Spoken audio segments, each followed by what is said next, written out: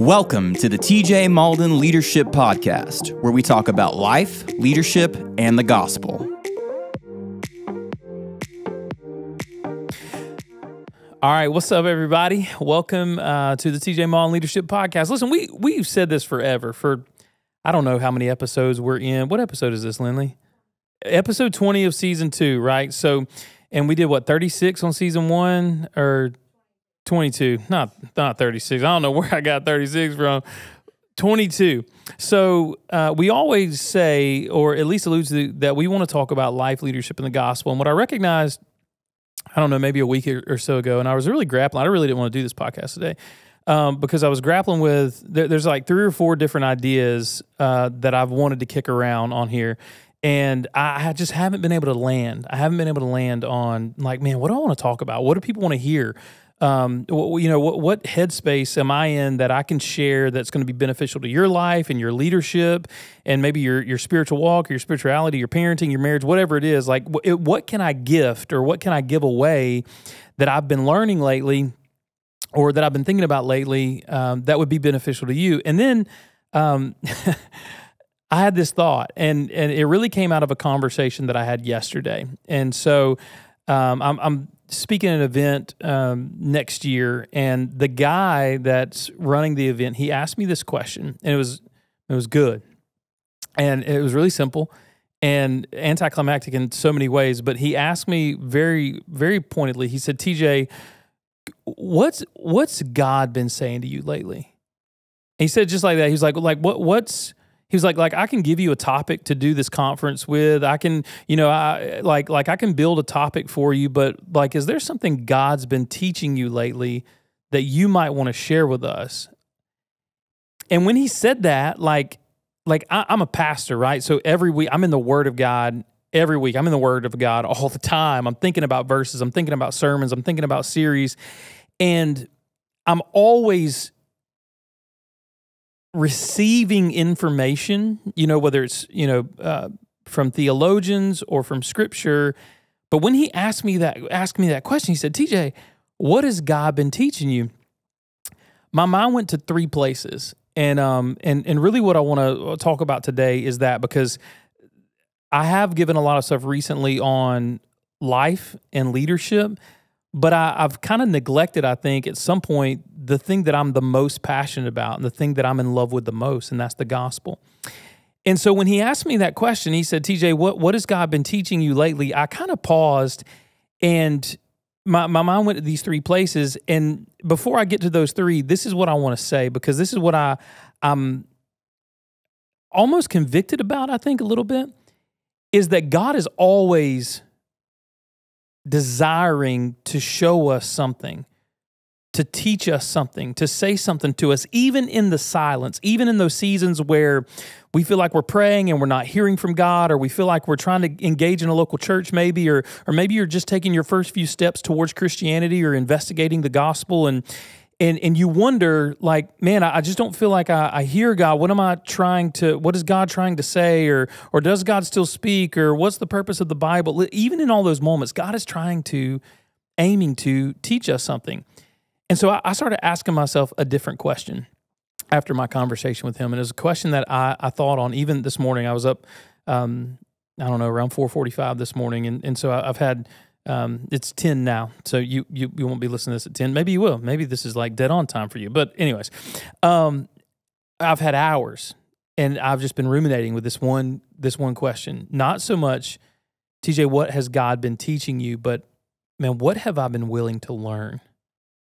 What have I been willing to receive?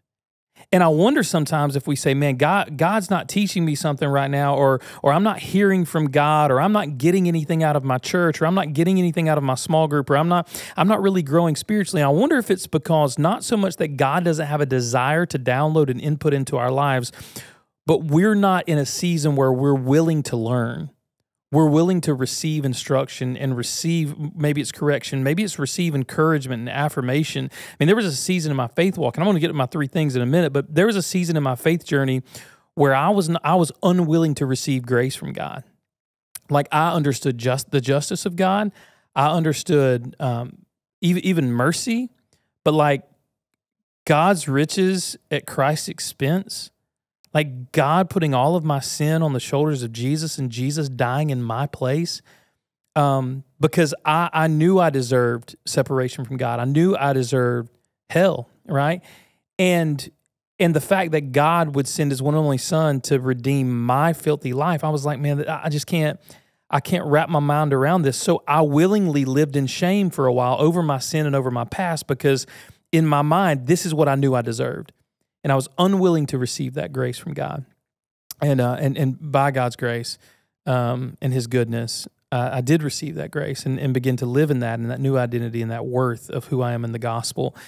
But today I want to give you three things that that I, I feel like I'm at a place and I think all of us ebb and flow, right? All of us, we hit those mountaintop experiences in those valleys where we're willing to learn, we're unwilling to learn, we stiff arm, um, like we stiff arm information or we stiff arm the Lord or we, we, we kind of push away from the Holy Spirit or whatever, even accountability and, and, and good relationship.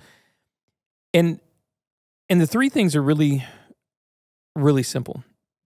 And the first is this, um, and and I, I, said this to our college students because I, I, had to dig through my heart and my mind. I'm like, okay, in this season of my life, what does God teach me? I just told the crew before we started, I was like, man, Ted, I, I just miss my grandmother today. My grandmother passed away um, eight weeks ago yesterday, and I'm like, man, what what has God been teaching me in this season? And not even so much what has He been teaching me, but what have I been willing to learn? And here's the first thing: in a season that just full transparency um, man, I, I have been sad. I, I, have felt distant. I have felt shut off, even from my friends and even at work some.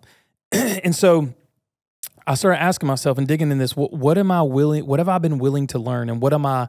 What am I embracing? What is what is a truth about God and a truth about myself that I'm I'm embracing? And the first one is this: uh, Psalm sixty three one says O God, you are my God. Early will I seek you, or earnestly, depending on the translation you read. Um, he says, O God, you are my God. Earnestly or early will I seek you. My my flesh longs for you, like, like I'm thirsting for you, God, in a dry and thirsty land where there is no water.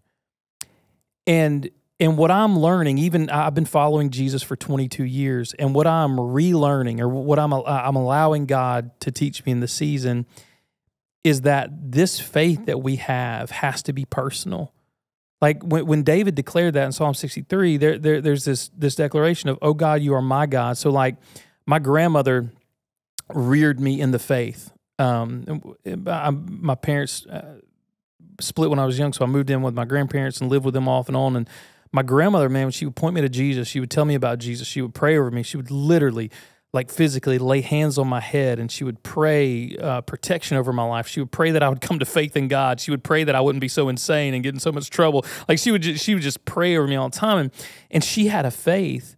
And what I'm re- realizing now, even after following Jesus for 22 years, is like her faith can't sustain me. Her faith couldn't sustain me. My grandfather, as incredible as he was to me, his faith couldn't sustain me. At some point in my life, and, and I'm seeing this for the first time because now I have a, a seven year old who's turned eight in just a few days. And my heart for my son is like, I want him to see the gospel at a young age. I don't want him to walk through some of the wounds that I walk through, like so, uh, some of the self-inflicted wounds that I, I put on myself, and, and and and created my own drama and trauma because of sin when I was younger. And so I'm like, like I so desperately want him to see Jesus and delight in Jesus and my daughter as well. But my faith can't be his faith. Like it has to be personal. And, and, I'm seeing this from two angles, right? I see my grandmother who passed away, who who gifted me this legacy of faith, but like her faith can't save me. Her faith can't establish me. Her faith can't keep me. And and even my son, like I'm recognizing like my faith can't win him to the gospel my faith can't like sustain him or keep him or secure his destiny in heaven with King Jesus forever, at some point he has to have a personal faith in Christ. And so that's the first thing that I, am just I relearning really in the season and season and get that God is just teaching me is that man I you know and, and obviously this isn't like some audible like I'm not prophesying over you some audible voice from God God saying this but but like through the scriptures, you can clearly see the Holy Spirit articulating to the church and to you and me today, like God wants a personal relationship with us. God does not want to be seen as some distant figure out there in the ethos that that is unapproachable. He wants a genuine personal relationship with you. And and that personal relationship has has nothing to do with your ability to approach him or your ability to justify yourself or your ability to be good or your ability to perform or to be godlike. It has everything to do with God's personality of creating relationship with humans. He created us for relationship and community.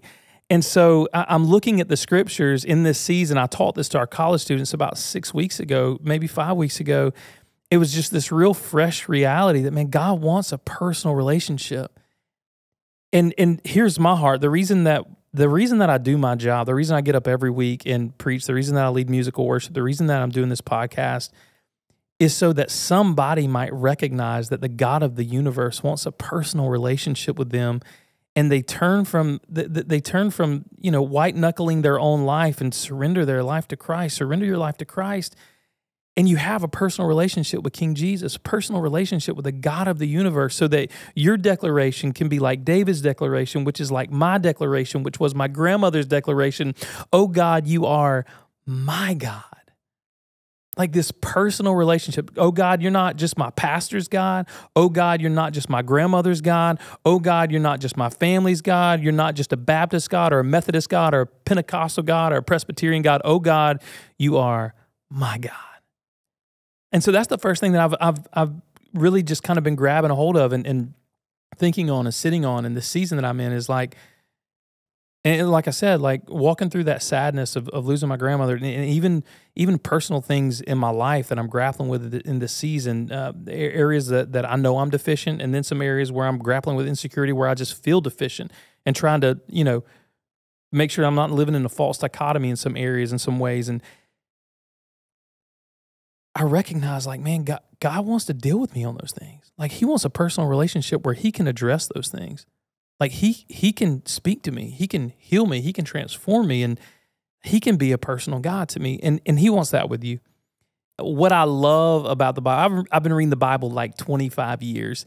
And what I what I love about it and just this season that I've been in is that I recognize that God, not only does God want a personal relationship with me, like I've been talking about, but God wants a continual growing relationship, like a, a growing relationship that has um, that that spans the length of my life, right? Like that covers all areas of my life. So we think of it this way and you've probably heard this before like oh man like i i prayed to receive christ or i prayed the sinner's prayer and sometimes you think about a personal relationship like i have a personal relationship with my wife right and my wife and I got married, and Scripture says this: that Jesus is the bride, the, the groom, right, and the church is the bride of Christ. So we have this same kind of relationship in, in, a sense, right, with with Christ. Like like we are covenanted together. We have linked our lives. We have surrendered all of ourselves to Christ in the same way. And I, I think God beautifully uses the picture of a husband and wife so many times throughout Scripture because it gives this same idea that I'm espousing that, that, that we're talking about together you have this personal relationship. I have a personal relationship with my wife. But God did not intend the relationship uh, with my wife for us to like, you know, say these vows to each other and make these great promises, for us to connect together, have a great honeymoon, and get back home, and us not grow together anymore. Like for us not to communicate, for us not to to to challenge each other and support each other and encourage one another and to do life together. And so this is really the second thing that God's been teaching me is that that not only does God want a personal relationship with me, but he wants a relationship with me that is growing and that is growing me, that's sharpening me in some areas where I need to be sharp when it comes to the truth, when it comes to justice, when it comes to understanding what I stand for and what I believe, and, and the Bible being God's inerrant word, and, and what God says about the family, and what God says about salvation, and what God says about Himself. And like, I need to be really, really, really sharp on those things. But when it comes to broken people, I need to be soft right? I, I, need to I need to have kid gloves. I need to be able to care for people and help people and give people hope and point people to the gospel and I can't do that if I'm not if I'm not growing in Christ. Like he can't sharpen me, he can't soften my heart. He he he can't do those things if I'm not committed to a growing relationship. And uh, the the same with your your spouse. And and and this is a marriage talk, but man, it I have to be committed to growing with my wife. I have to be committed to pursuing my wife. I have to be committed to romancing my wife. And I love, you know, I love to romance my wife. Like I like to get her some flowers. I like to drop a little letter on her. You know what I'm saying? Like I like to turn on some music, be like, "What's up, girl? I love you." You know what I'm saying? Like I love to love my wife. I love to grow with her. Like I love to have conversations, right? Like I, I love for uh, to like to even still, we've been married for 12 and a half years and I love to figure out how her brain works because y'all, she's so much smarter than me. And she's so much more in so many ways, like, man, she is she's so much more compassionate than I am in some areas. And it's her brain is just so interesting to me. Like the way she thinks and the way she thinks about God and people. Man, it, it just encourages me and I think about what I would miss out on in my relationship with her if I was happy with the, the with the wedding but I didn't want any part of the marriage. And I think that's where some of us are with Christ and where I've been with Christ at times. Like I'm really, really happy with the wedding. I'm really, really happy with the day that I prayed to receive Christ, the day that I recognized that the Holy Spirit drew me to Christ and I became a believer. But when I when I trusted, when I repented of my sin and trusted in Christ alone for salvation, like there have been seasons where I was really happy with the wedding, but I wasn't super committed to the marriage. And that's what God's been teaching me. Like uh, Romans 1.16 says, for the gospel is the power of God unto salvation to all who believe, the Jew first and also the Greek. And so what I'm recognizing is like the gospel is powerful enough not just to save us, but to continue to do powerful things in my life, to continue to shape me, to continue to grow me, to continue to make me more and more like Christ. And so the second thing that really I'm I'm I'm learning from God, or I believe God is trying to teach me in this season is like, man, TJ, I want to grow you. Like I, I want our relationship to be this, this, you know, Christocentric relationship to where you're continually growing and changing and and and being molded into what God has for you and God has for your family and God has for your church. And like like I think we miss out so many times when we get stuck on salvation and we don't move to in the Christian world we call it sanctification or that growing being set apart season. Like man we miss out on so much because, and uh, man, you see this in culture. People get really, really hyped about the wedding. They'll spend literally tens of thousands of dollars and then they don't invest in the marriage. And so, uh, my fear sometimes is that's where we're at in, in our relationship with God. And this is what I'm learning about myself that that sometimes I look back on those spiritual mountaintops and I really, really love the wedding. But sometimes I'm not super invested in the marriage. And in our relationship with God, He wants us to grow. He wants to have that deep personal relationship with us. And He wants it to be a relationship that continually grows, that shapes us, you know, that transforms us, um, so that we look more like Him. Two, and, and here's the third point to get us to a place where, and, and when, when I, I mean, He was, you know, asking this question, I'm sitting, I'm, I'm thinking, okay, God, what are you teaching me? What am I learning? What am I willing to learn? Like, where's my heart at? All right, God wants a personal relationship with me. But God doesn't want to stop at like just being saved. He wants a relationship that's growing, that's transforming me, a relationship to where I'm anchoring in the power of the gospel and all that Christ Jesus did for me on Calvary. But then all that Christ wants to do in me and through me for the rest of my life, continually growing me until the day that I kick the bucket and I breathe my last breath for the purpose of. And, and here's the third thing that I'm I'm recognizing. I challenge our staff um, Monday. Um, and and all of this I think comes out of like just what God is teaching me and what I'm being willing to learn um, for the purpose of telling this story over and over and over for the rest of our lives. And we get to do that in whatever in, in whatever capacity uh, that we operate in, right? Like I'm a pastor, um, so, it, you know, I get to stand up on Sundays and I, I, get to teach the Word of God. I get to preach the Word of God. I get to counsel people. I get to point people to the Scriptures. I get to tell the greatest story that has ever touched earth that God sends one and only Son to die in our place. Jesus, 100% God, 100% man, died for us. And so God wants a relationship that's personal. He wants one that's growing, but I'll say it this way God wants a relationship that's also going to the world with the greatest news that has ever touched earth. I challenged our staff. I said that a few minutes ago, I challenged our staff this past uh, week. I said, man, who's the one person in your life that needs to hear this story? This true story. Who's the one, what, like, is there one person in your life? And, and I challenged them. I said, listen, I want you to pick one person to share the gospel with this week. And I went as far as to say, listen, I'm going to ask you next Monday at our staff meeting. I like I'm going to go around the room and ask you, how did it go when you shared the gospel with that one person? I, have got a person on my mind, that, eh, on my heart. Like I've been working up, and yeah, I'm, I'm a pastor, but sometimes I have to work up some courage to to cold call, I guess you'd say, or like, like I'm just going to launch into the gospel with this person and share the good news of Jesus Christ. And like sometimes it's not always the most comfortable conversation or the easiest thing to do, or you know, it's not the perfect setting. But man, this is this is why we exist to have a personal relationship with God, to grow in that relationship with God, and then take that same news, that same gospel truth to a world that is desperate for the love of God. A world that is that is crumbling around us. You look at all the geopolitical stuff that's going on in the world, you look at all the injustice, the brokenness, the needs around us. It seems like the world is caving in on itself. And when you have Jesus, you have all of the cure, you have all of the remedy, you have all of the hope forever. And so I wonder today, and, and so I'll, I'll say it like this. God has been pressing on my heart and teaching me, reminding me, I'm, I'm relearning some of these things that He wants this personal relationship with me, but not just a one time encounter like a wedding. He wants this growing, long term relationship with me to where I'm. I'm being shaped and I'm being molded and I'm being challenged. I'm being encouraged. I'm being convicted. I'm, I'm being lifted up. Like he wants this growing relationship so that I can go and tell the world about this relationship.